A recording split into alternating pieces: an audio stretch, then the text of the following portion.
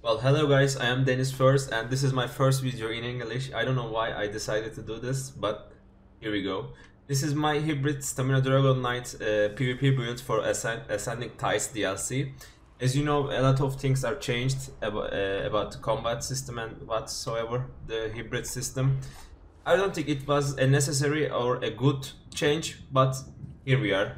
So we need to adapt and this is how I adapted. This is actually my build that I previously used, but it's uh, it's already good. There is nothing nothing for me to change.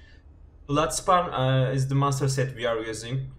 It's just best for the Dra Dragon Knights in my opinion because uh, the more ult you have, you know, like I'm not gonna talk about the obvious stuffs like this game is uh, around like six, uh, eight years or so. You should know by now most of the basic stuff but since I we gain ultimate we gain a lot of sustain uh, and bloodspawn is uh, is the best choice in my opinion.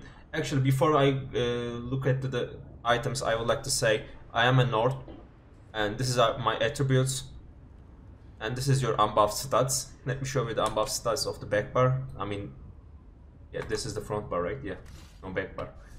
Back bar stats and front bar stats like stat wise if you know what you're looking at you should uh, see and understand these stats are almost perfect every stat is almost perfect uh, this is why one of the reasons the Dragon Knight is the meta right now. The Serpent boon is the most efficient boon, that's why we're using it. With Chagger Sickles, like everybody is gonna use it I guess in this page. Because of the hybrid stuff. And we are Vampire for Undead passive. Undead passive, right? So uh, two items like heavy, too heavy. I love no. I had, I have one, uh, two heavy, uh, and five medium. Bloodspawn is my master set. One trainee chest piece is reinforced, and all big pieces have dry stats. Um, I should have three impan and four well fitted, and one, uh, or three impan, three well fitted, and one reinforced chest. It should be like that and all other pieces of course are maximum stamina. So in front bar, we are using Wretched Vitality. Uh, I'm using a 100 maul, 200 maul uh, with sharpened, and I take this with 200 and like one here, like two uh, uh, jewelry. It doesn't matter how you pick it, just in your front bar it should be Wretched Vitality and on your back bar sword and shield it should be uh, sword and dagger trigger set it doesn't matter how you take it because both of the sets are craftable sets so just go around and do whatever you like. If you have the jewelry of Wretched Vitality put Wretched Vitality at your jewelry but it doesn't matter. Just front uh, just you know you you in front bar you have Wretched Vitality on back bar you have sword and shield uh, the trickery. It should be sturdy and uh, defending. And we have of course the Markyn ring of majesty. This is a mythic item. If you don't have this item you will lose a lot but you can use uh, here like if you have from previous pages you can use the Malacath's ring of this just Malakat ring. I don't know the full name of it. It's uh, decent but Markyn is way more better in my opinion. So yeah this is this should be it. And we have one train as I mentioned. Actually I will uh, link in the, I will put a link in the description. You can see the written version of this build in my website along with all other builds from the ESO like PvP or PvE uh, it's the website isn't Turkish, but you know the it's it's the basic. You when you look, you can uh, obviously understand the build page. Don't worry about it. There is no Turkish words actually because the game is in English, so we don't have Turkish words for the stuffs like enchantments or whatever. So you will understand if you look at the written guide. And let's go to the skills. As I mentioned, I'm not going to talk about everything. This game is around for so long, but this is our main spammable skill and gives major breach. This is our Executioner 200 and this is our Molten Whip which is the hardest hitting skill right now in the game actually. It is harder than the ultimates, you know.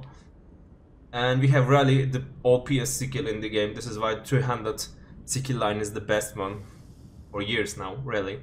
And it's for sustain and major brutality as you know. And Flames of Oblivion, you can use the other morph of it which, which gives you healing it's not necessary actually, you have lots of healing, uh, but you can use this one as well. And we have the take flight. Uh, I'm most of the time using take flight, but you will see at the back bar, we're gonna talk about it. Most of the time you wanna use take flight because of your sustain and it deals a lot. and also you know if you don't know uh, even if they're in cc cooldown like if you stun them if you use leap they're gonna get stun like one second one second or so. It's kind of a bug or i don't know whatever but leap always uh, locks you down for one second even if you are in stun uh, cooldown. So it's it's buggy. When you lose you, when you use leap you can also use executioner at the same time and stun at the same time. So yeah just know that.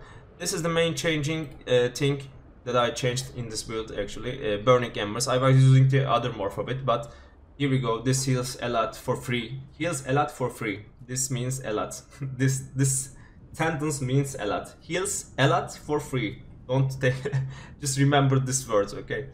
And uh, this is the main change with the uh, actual hybrid meta and this is the other one. Because it will heal you a lot and it will deal damage a lot because it can now proc on your weapon damage as you know and there you go. You don't need immobilization because the other from other you have also immobilization po poisons here. Uh, yeah it's not the same thing but it, it it works. It's just the better morph.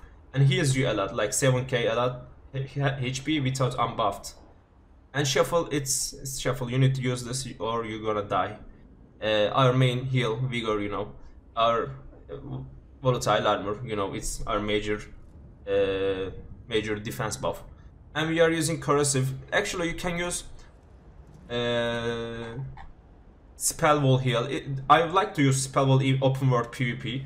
It's the best ultimate in my opinion you can use for defensive and offensive. It allows you to go offensive where you are blocking, but in, uh, in if you are dueling in a against a tough player like sometimes you need to use corrosive to kill them because they are so tanky so that's why i keep corrosive on my back bar.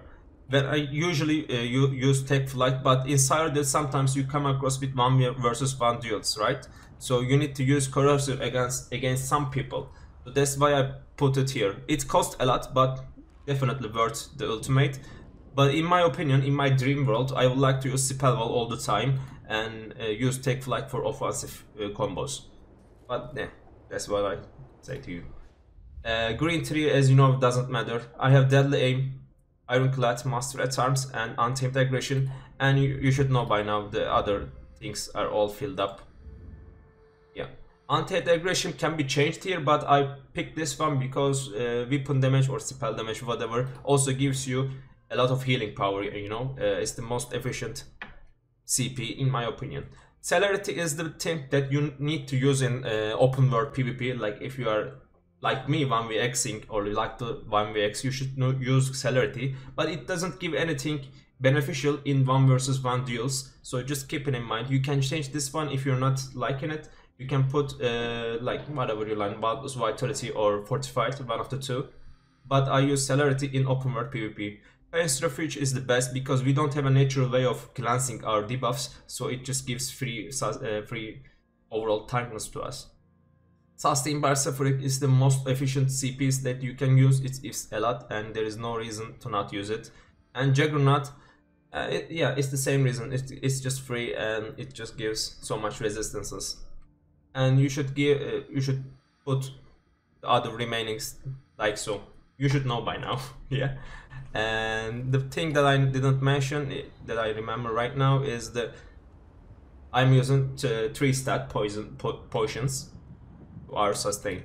I will show you the uh, buffed stats. So when put when light attack and use my rally, we will have like five and 5k weapon damage, and you should proc your molten whip to this third time. Like never use it unless it's third you should use it on the third uh, stack. Don't try to spam it, so you should heavy attack, whip, and execute. This is your best combo. You, when you heavy attack, you know, you will get this passive, follow up, and you will hit so hard that you're gonna die instantly. Like, heavy attack, and molten whip, 18k without quick, but this dummy, dummy, I'm hitting a dummy, so it doesn't make any sense but this is this should be your combo. And after that you should use your leap. As i mentioned it will bag your bug your opponent and they're not going to be able to move and you can immediately use execution after the leap and you will like hit 30k burst to someone that is not blocking of course. Yeah. It should be your combo and burning embers just gives you a lot of free healing. Since i have full hp here it doesn't show the healing but it gives you trust me. And shattering glass i cannot use it on this dummy but it also heals you a lot. And show you the stat. This is our front bar stats and this is our back bar stats. And blood spawn is not proccing when blood spawn procs it give like we have 32 or 32k or something like resistances is really a lot. And we have over 5k uh, weapon damage and 7k penetration but we also apply major breach so there you go. And also we have corrosive as you know. So in this build there is actually a no chance for you to lose ever one versus one if you are not making huge mistakes mistakes and if you're not dueling against Magicka Dragon Knight. They are in a pain in the ass but I still win most of the uh, duels against Magicka Dragon Knights, but if there is a Magicka Dragon Knight that he knows what he's doing he should be killing you in any case. So that's it for me. I hope this video helps you in any way. If it does please leave a like and uh, comment below so I can make more videos in English maybe. This is just for uh, for an experiment for me and we will see. Okay bye